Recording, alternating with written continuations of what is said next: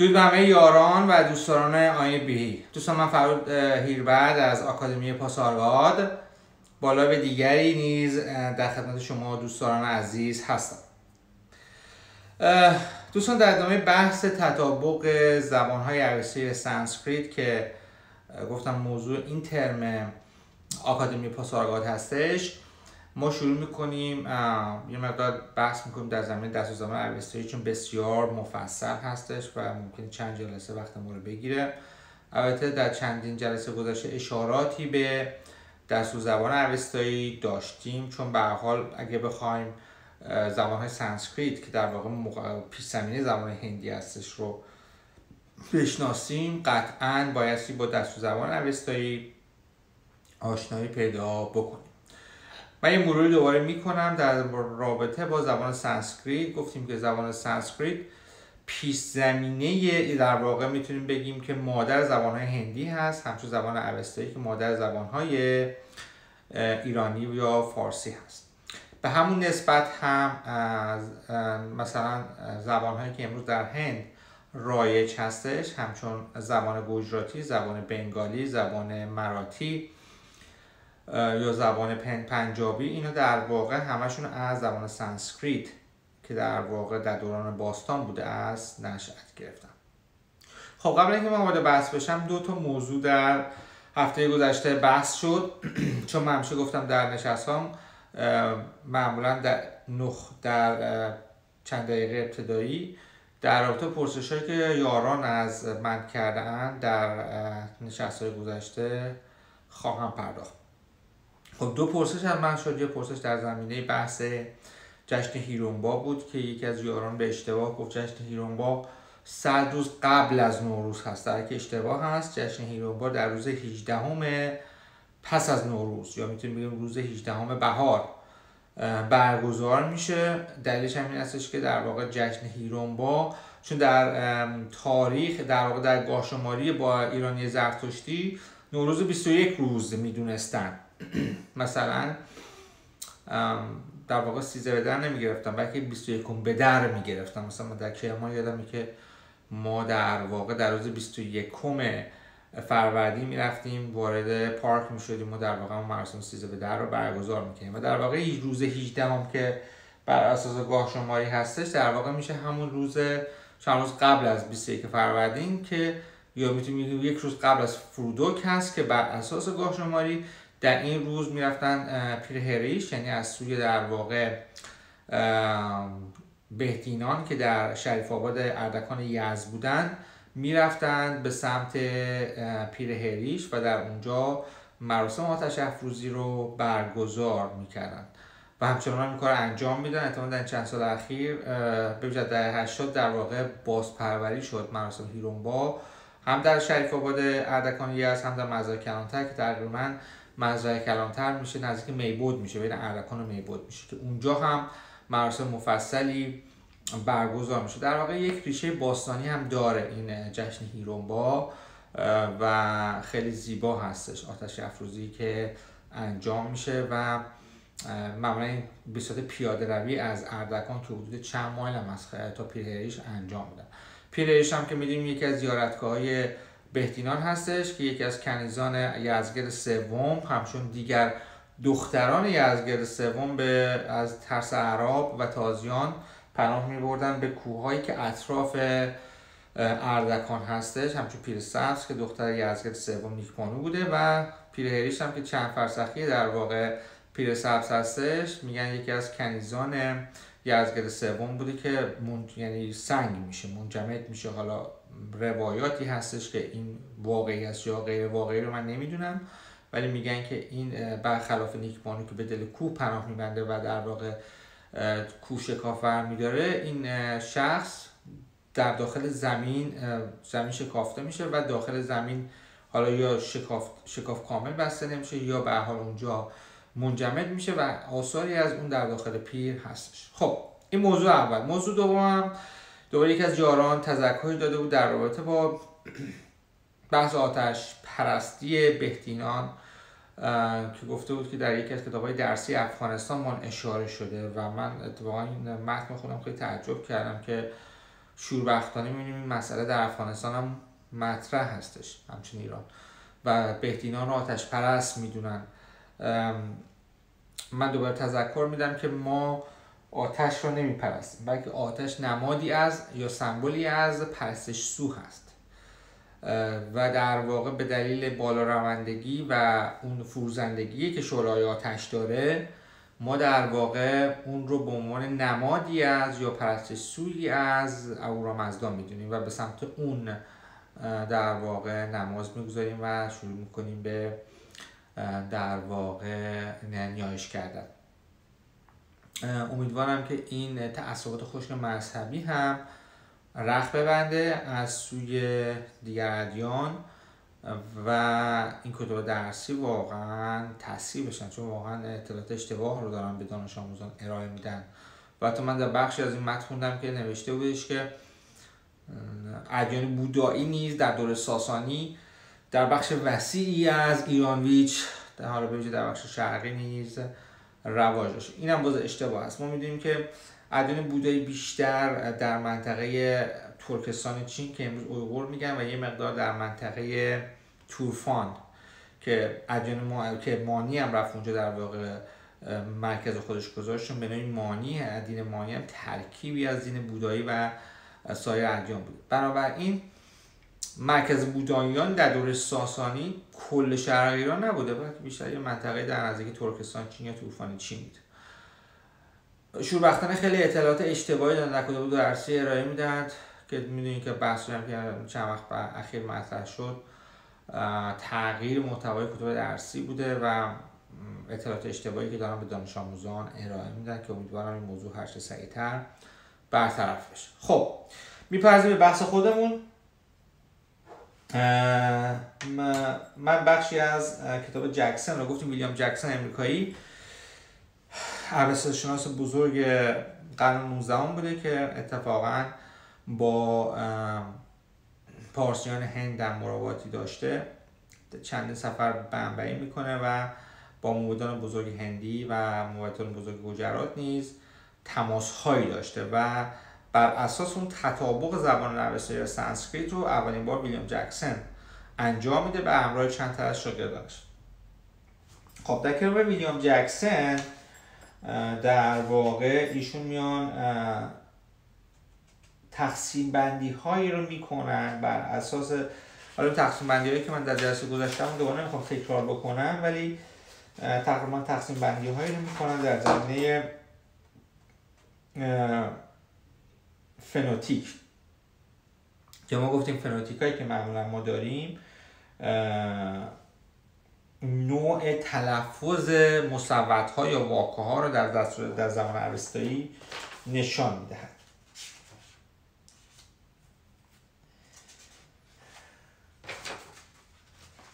خب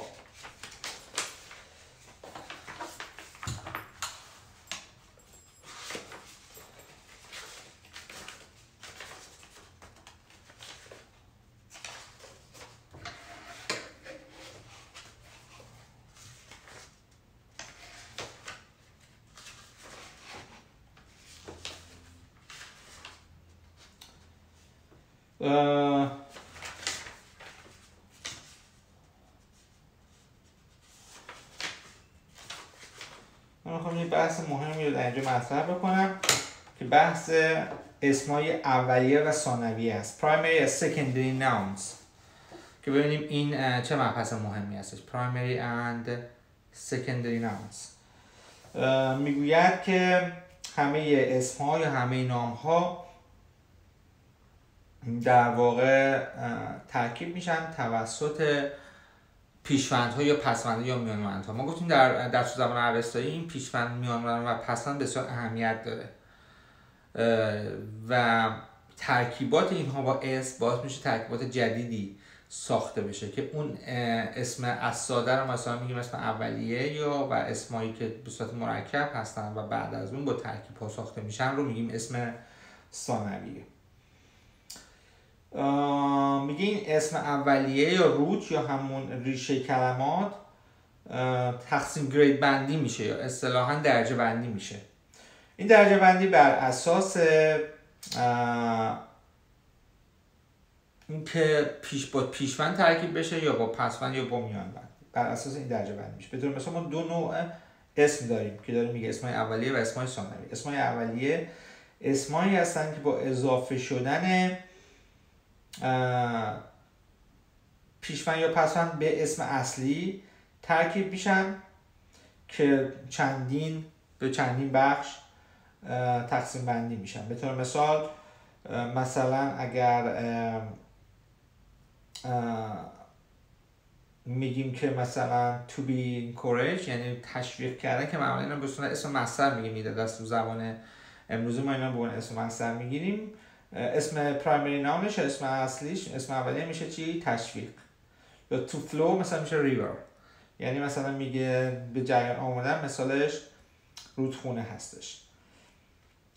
to age time to pound time of pounding to throw a row to throw existence to arrange truth.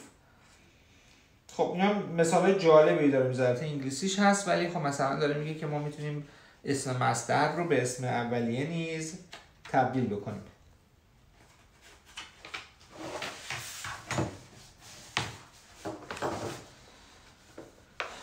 مثلا میگه که اگر اسمای ویژه رو ما در اینجا داشته باشیم به اسم مثلا پیشوند مثلا پیشوندی که ما در اینجا داریم ممکن ممکنه اسم های اصطلاحا مصنا یا اسم های معنیس رو برای ما بسازه که اینها ممکنه تقسیم بندی بشه در این قسمت. یا مثلا اسم خونسا رو برای ما بسازه. مثلا میگیم که مثلا اسلحه رو ما می‌تونیم به تو کات تبدیل کنیم. یعنی به کات کردن تبدیل کنیم یه مدن بحث پیچیده هست ولی خیلی بحث جالبی هستش. ولی اگه می‌خوام بطور مفصل توضیح بدم خیلی ممکن پیچیده بشه برای شما. مثلا abstract feminine nouns که میشه مثلا اسم مطلق مؤنث. که میگه مثلا اسم مطلق مؤنث رو ما می‌تونیم دو تقسیم بندی بکنیم. یکی اسم کامل هست و دیگری اسم غیر کامل. در اسم کامل ما میایم ترکیب ترکیب پیشوند رو با اسم مصدر می‌سازیم. ولی در اسم غیر کامل این ترکیب ممکنه با ترکیب پسوندی انجام بشه با ترکیب میانبندی انجام بشه. و در مورد اسم ثانویه سکندری نامز گفته اسمایی هستش نامهایی هستن که بر اساس اضافه شدن پیشوند پسوندی میامند به ارزم به خدمتتون که به نامینال یعنی به اسمای به عنوان ریشه های اسمی ساخته میشن. به طور مثال بشر یا منکان رو ما می‌تونیم به بشر در واقع ترکیب شده از چی؟ من به اضافه یه پیشوندی. یعنی اینکه پیشوندش مثلا بوده حالا مثلا اینجا کایند رو به اضافه من میاره ولی منظورش در واقع ترکیبات من و کایند هستش. به همین صورت میگیم ما بر اساس می‌تونیم بچه بگیم؟ ترکیباتی که برای صفت ها می‌تونیم بسازیم. صفت هایی که در زبان اوستایی میان مثلا صفت زیبا یا بیوتیفول از to be beautiful میاد. یعنی درایو شده از اونه. یا good از to be good میاد. یا swift از to hasten میاد. میگه که همینطور هم ما می‌تونیم در واقع صفت رو استخراج بکنیم از ریشه های صفت. اونها در واقع چه ترکیباتی می‌تونستن بسازن خب برای پرایمری سکندری ناونز یا مثلا حالا اون مثلا مثال بوده گفته در اینجا که گفتیم نمونهش به چه صورتی هست. خب. نمی‌خوام الان خیلی بقول من مفصل صحبت کنم. این یه بخشی بود. در ادامه بحث تاریخ پارسیان من داره بخش از کتاب قصه سنجان رو برای شما می‌خونم که من کتاب قبلا معرفی کردم. قصه سنجان از ادولجی هستش. بخش دیگری از این کتاب که امروز می‌خوام برای شما بخونم و برازم خیلی هم جالب هستش چون به نوعی ما باید برای اینکه تا زبان هندی رو بشناسیم تاریخ هند رو باید به طور کامل آنالایزش بکنیم. بحث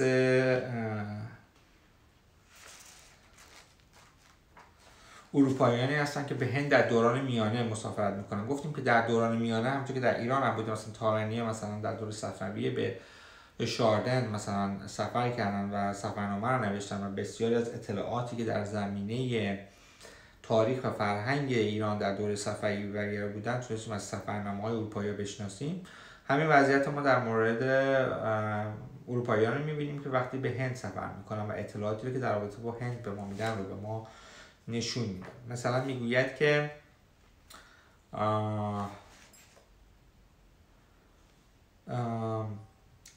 اروپاییانی که به هند در دوره میانه سفر کردن حدود 16 نفر بودن. 17 نفر بخشید.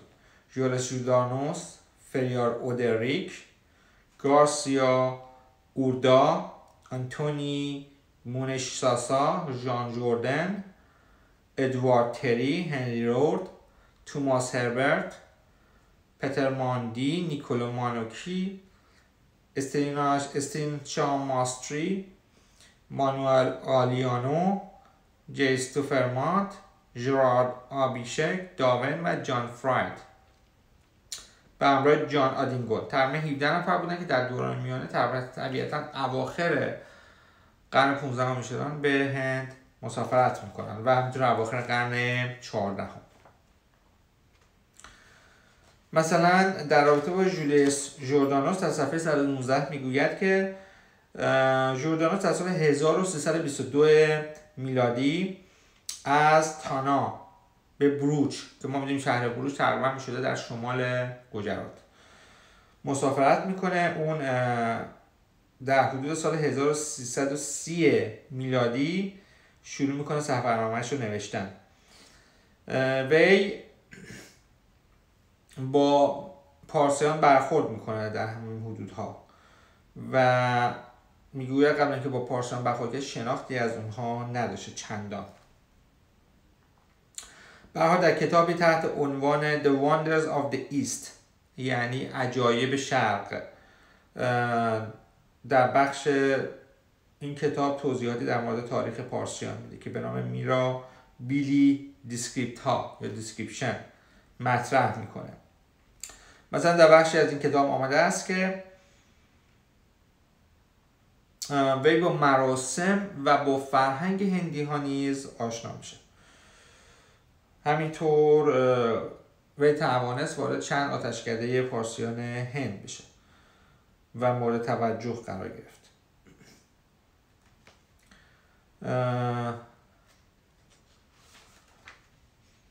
یا مثلا در مورد شخص دیگری به فریار اودریک که گفتیم این شخص دوم بوده. وی در سال 1323 در یک سال بعد از جوردانوس به هند سفر می‌کنه شخص ایتالیایی بوده. اون در کتابی به نام دوخما در رابطه با پارسیان هند اشاراتی داشته. وی می‌گوید که پارسیان انسان های بسیار شریفی هستند و در در مورد شخص بخش دوخما یا همون معنی دخمه میده و در رابطه با دخمه توضیحاتی میده که می‌گوید پارسیان مردگان خودشون رو در, در محلی به نام دخمه می‌گذارد.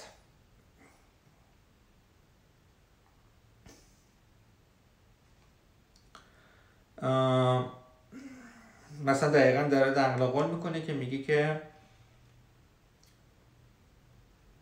پس از مراسم مذهبی توسط افرادی مردگان یعنی جسد مردگان به بالای کوهی که دخمه هستش منتقل میشه و در اونجا در مزار یا در مزن لاشخورها و پرندگان قرار میدن تا جسم خورده بشه.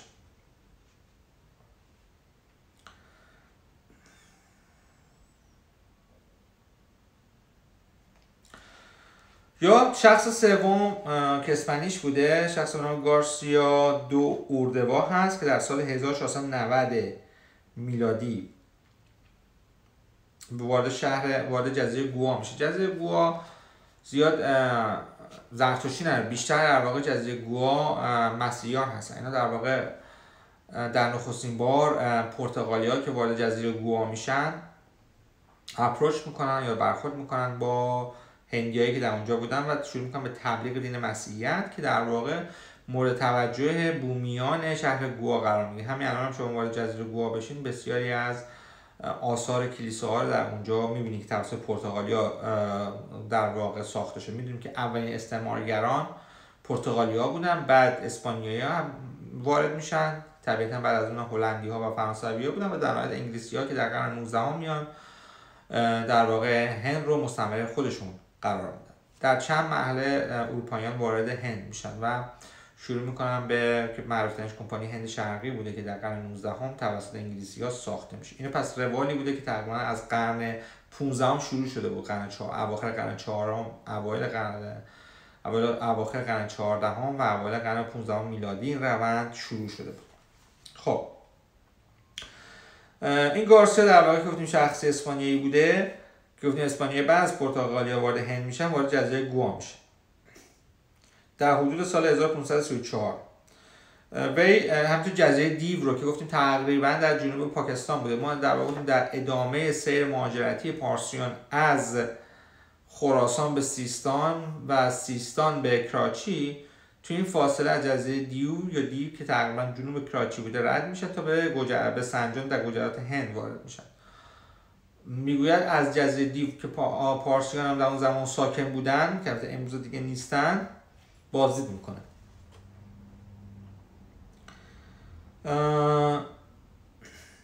و در نهایت وارد بمبئی میشه. وی در کتابی به نام البته به اسپانیش هست The College on the Simples and Drugs of the India. معنی کتاب جامعه ادویه هندی یا داروهای هندی رو میده. که در سال 1563 میلادی چاپ شد توضیحاتی در رابطه با پارسیان هند می‌گوید. همینطور دوباره اشاره به دخمه می‌کنه در اینجا. همینطور اشاره به کتاب وندیداد که می‌دونیم که یکی از کتاب اوستایی هست می‌کنه. جلد سوم کتاب وندیداد می‌گوید. او با پرسشی اشاره به این کتاب می‌کند می‌گوید که اگر در خانه شما به پرستش اهورامزدا بپردازید و سگی در واقع اشاره به مراسم سگدید می‌کنه که در وندیداد بسیار اشاره شده که توسط سگ من تشخیص می‌دادن که آیا شخص مرده است یا نه بر اساس امواج فراسود که امروز در واقع تصدیق علمی هم داره اشاره می‌کنه.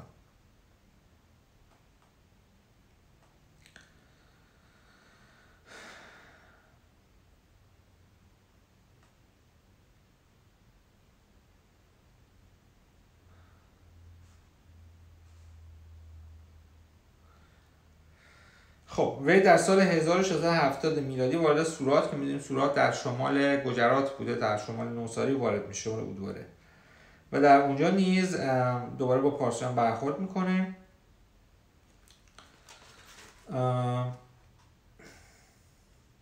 حالا دوباره نقل قول می‌کنه که چجوری وارد آتشکده میشه و چجوری در واقع اون رو اپروچ می‌کنه و در نهایت چیکار می‌کنه که بتونه در اطلاعاتی رو برخورد بکنه.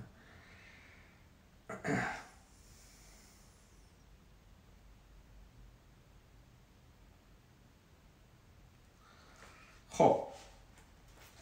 بعد شخص بعدی آنتونی مونسرات بوده که میگه مونسرات در واقع یک مبلغ مسیحی بوده یک میسیونر بوده که جزء در واقع عضو انجمن میسیونری امپراتوری اکبر تحت عنوان پدرودلفو به از ایتالیان بوده. این شخص اومده.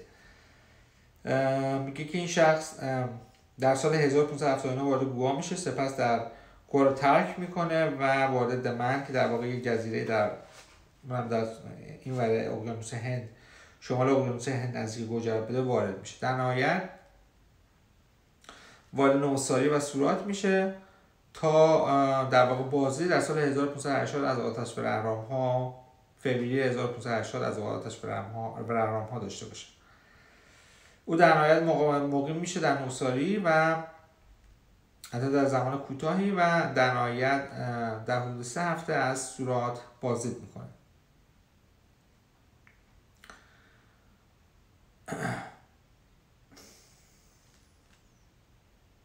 به در در کتابی تحت عنوان کامنتری آن د میشن البته می‌دونید که در زمان امپراتوری گورکانیان هند بوده و چون در واقع امپراتوری گورکانیان هند جز امپراتوری مغولستان معروف بوده یا جز امپراتوری مغول ها اسم امپراتوری مغول رو در اینجا آورده معمولیت در امپراتوری مغول.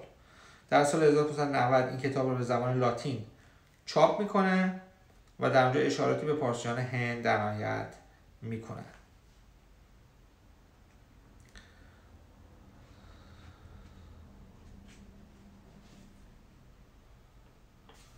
خب.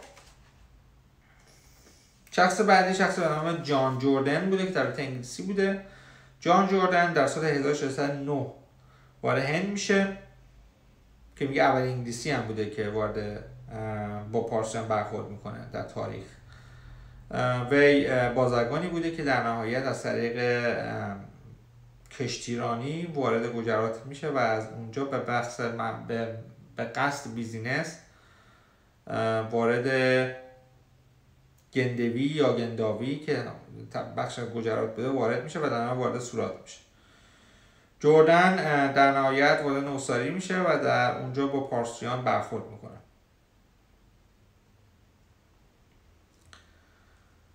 جردن در مورد علاقمند میشه به یادگیری اطلاعات جمعه اطلاعاتی در رابطه با خوراکای هندیان به خوراک پارسیان.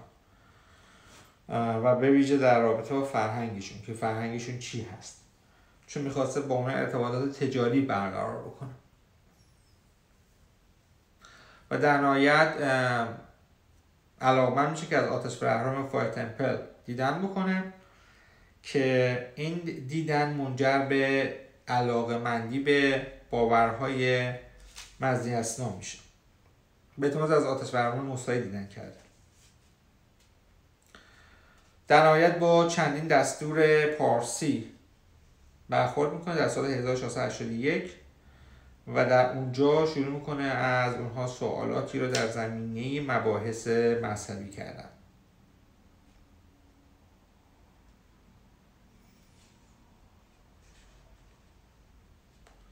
حالا من وارد بحثش نمی‌خوام بشم خیلی مفصل داره بحث می‌کنه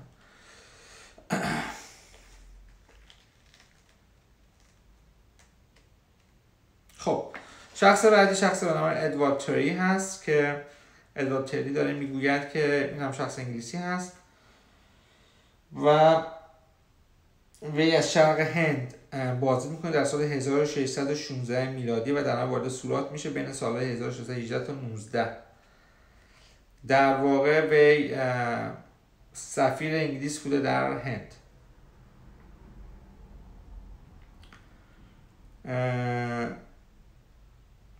تری در نهایت به سال 1619 به انگلیس برمیگرده و در کتابی تحت عنوان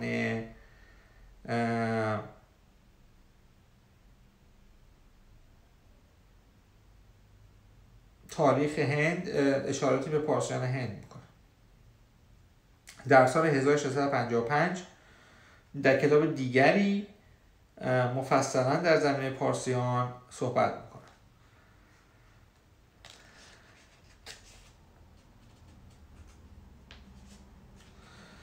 این کتابش حتی زنده اوستا هست حتی ما میدیم در زمین زنده اوستا بحث بسیار زیاد هست. چون زنده اوستا تقریبا می‌دونیم که در اواخر دور ساسانی برای فهم مفاهیم زند و پازن کردن که می‌گفتن برای فهم متون پهلوی استفاده می‌شده به خط دین دبیره خب. در نهایت در مورد هنری لورد صحبت می‌کنه که میگه هنری لورد در سال 1624 میلادی وارد شرق هند میشه و در سورات بین سالهای 1625 تا 1629 مقیم میشه. در این چند سال هنری لورد در واقع کتابی رو تحت عنوان بررسی مذهب هندی چاپ می‌کنه. که در اشاره هم به دوباره زن در داره.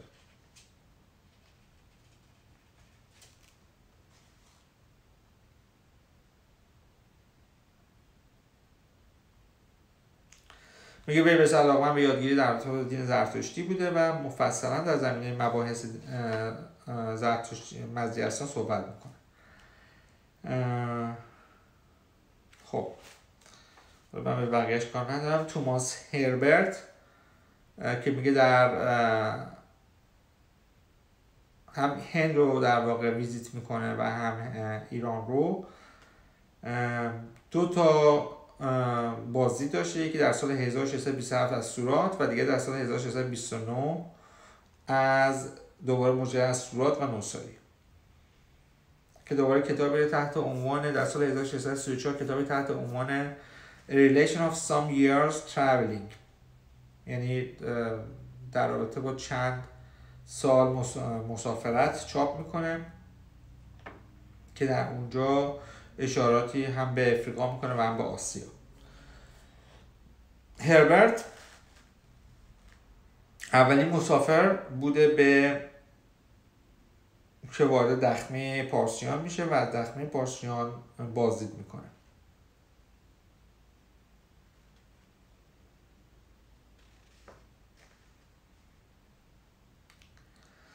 خب من هدفم این بودش که در واقع شما یه مقدار آشنایی پیدا بکنید با برخوردی که پا اروپاییان داشتن با پارسیان هند در طول سالیان مختلف و علاقه مندی که اینا پیدا می‌کنن به دین زرتشتی. حالا چرا این علاقه مند شدن؟ جای بحث داره که به احتمال زیاد به دلیل جذابیتی که هم آتش های هندی داشتن آگرای هندی داشتن و هم تعصبی که پارسیان در اجرای مراسم دینی به خوش نشون می‌دادن و اون همین الان هم شما وارد هند بشین این تعصب رو می‌بینین و این اعتقاد شدیدی که پارسیان به اجرای بینقص مراسم در واقع به ویژه در دور ساسانی رو داشتن رو کاملا مشهود هست. و دیگرین مسئله که قطعا مشهود هست ارائه دقیق اطلاعات از سوی پارسیان هم به زبان انگلیسی بوده که خب بهتر می‌تونستن کامیکیشن برقرار بکنن با اروپاییانی که به وارد می‌شدن. به انگلیسی می‌تونن حرف بزنن. و این خیلی مورد توجه اروپاییان قرار می‌گرفت به ویژه انگلیسی ها خب طبیعتا می‌بینید اینا چندین کتاب چاپ کردن. یعنی در طول قرون مختلف می‌بینیم که اروپاییانی که وارد هند میشن و از با پارسیان برخورد می‌کنن این کتاب رو چاپ می‌کنن و به توصیف دین زرتشتی آین پارسیان و در نهایت حتی آتش احرام ها نحوه اجرای مراسم دینی و حتی فرهنگ پارسیان می‌پردازند و خیلی به نظرم کتاب جامع کاملی هستش که می‌تونه مورد بررسی قرار بگیره. خب من این جلسه رو به پایان میدم. نمی‌خوام خیلی زیاد طولانی بشه که سر شما درد بیاد. در نهایت هدفم این بودش که در در ادامه هم بحث دست و زبان عبسی هم بحث تاریخ پارسیان مطالبی رو به شما دوستان و یاران بگویم. خب. تا نشست آینده همه شما یاران رو به ایزد بزرگوار میسپارم. خدا نگهدار و روز خوش.